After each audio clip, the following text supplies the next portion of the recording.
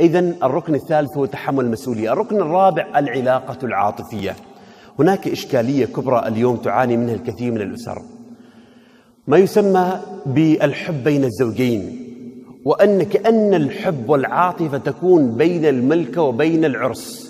أو في السنة الأولى علميا هذا لا يسمى حب في علم النفس وإنما هذا يسمى الوقوع في الحب. الحب الحقيقي بين الزوجين هو الذي يبدأ بعد السنة الثانية وهذا ما سأتكلم عنه إن شاء الله إما في هذا الدرس أو في الدرس القادم بإذن الله تعالى. العلاقة العاطفية نقصد بها أن الحياة الزوجية لا بد فيها من التعبير عن الحب. بعض الأزواج يقولون زوجتي تعرف أنني أحبها ما في داعي أنني أعبر عن هذا الحب. وهناك قصة حقيقية تحكى عن زوجين. هذا الزوج بعد العرس أخذ زوجته إلى شهر العسل في إحدى الدول. وسكنوا في فندق معين وقضوا أجمل لحظات شهر العسل كما يسمونه. بعد سنة كاملة أو قبل أن نتكلم عن بعد قبل سنة خلال ذلك الشهر مرة من مرات راجعين بعد جولة طويلة هو وزوجته.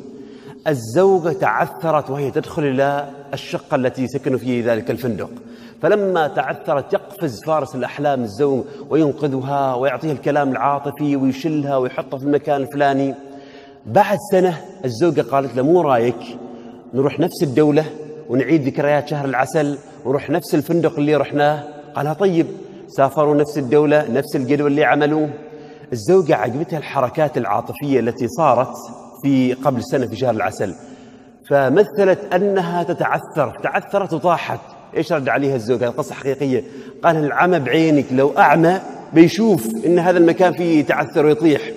لماذا تغير كل شيء؟ لأن العلاقة الأولى ما كانت حبا حقيقيا العلاقة الأولى ما يسمى مشاعر الوقوع في الحب.